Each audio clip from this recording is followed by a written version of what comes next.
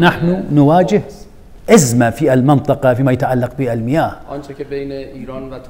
وما و آه، ما يحصل بين إيران وتركيا وبين العراق وتركيا وما يحصل بين إيران وأفغانستان وكذلك ما يحصل بين حدود أقليم كردستان في إيران.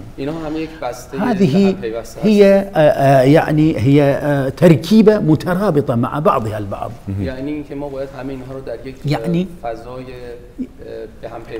يعني ان نراها في اجواء مترابطه. نحن لدينا معاهدات في اطار.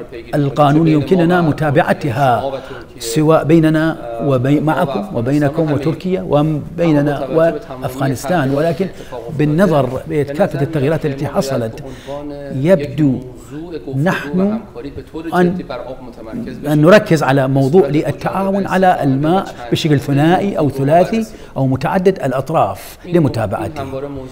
هذا هو كان موضوع إيران على الدوام أن يكون موضوع التعاون للإنسان ومن أجل البيئة. وأنتم تلاحظون بعض التغيير في إقليم كردستان نواجه مشكلة متعلق بالأتربة العالقة أو الأحداث التي تحصل على حدودنا مع الدول الأخرى ولذلك فإن المياه هي قضية مهمة فيما يتعلق بالديون هذا واضح منذ سنين وبفعل أشكال الحظر الظالم للولايات المتحدة الأمريكية.